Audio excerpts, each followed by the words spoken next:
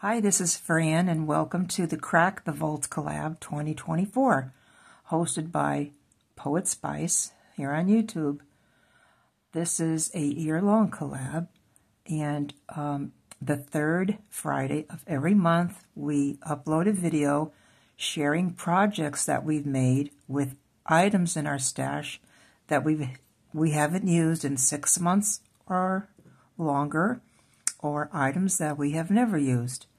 And there are other participants, and I'll share in the link below, or this, I'm sorry, the description box below, a link to all the other channels to share, just that um, you can go over there and um, check out their videos also.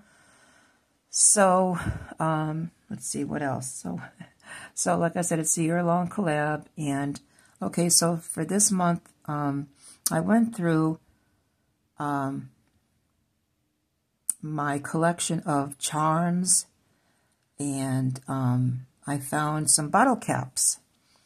So I decided to do some bottle cap charms. And I found a lot of items that refer to springtime. So I thought, let me put some of those together. Now, um, the bottle caps, you, what you do is you, I'll share one. You, um, you can look for images online of any kind of, well, actually any kind of image that you want. And they have to be one inch in size for the bottle cap. But what I did was I just used paper in my stash and I used my my uh, one inch circle punch. So I punched out out of the paper my own images. Uh, so this first one has a butterfly, uh, more of a vintage type looking butterfly.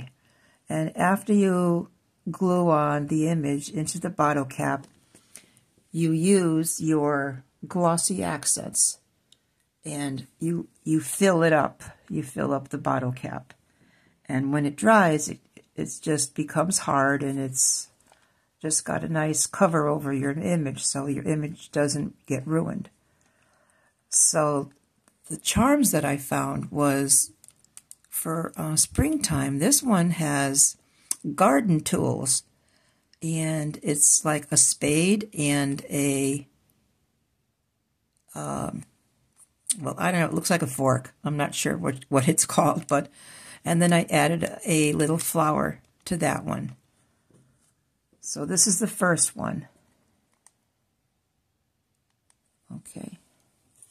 And then this one here, I found a cute little bee. I found this little bee charm. I have some flowers here in the cap. And then the beads I found kind of like matched the colors of the bee. The charms, I mean the beads actually, they're um, black and white, and there's a yellow, and then there's a little black one. So I added that to this one, to this bottle cap. I thought it was so cute. I, I really enjoy doing these. And here's another one that just has a pink flower to match the the um, paper in the bottle cap. And I added two little green beads on this one. And then this one here has a little flower pot with a, um, with a little tiny pink um, gem or whatever inside of the flower, the flower center. And this is the paper I used. This one's coming out of here. And then I just put a pink bead um, on this one to hang from there. And then the last one has another pretty butterfly, very pretty. Uh, so I punched out this butterfly from the paper, and I I don't really remember what collection I had um, or I used.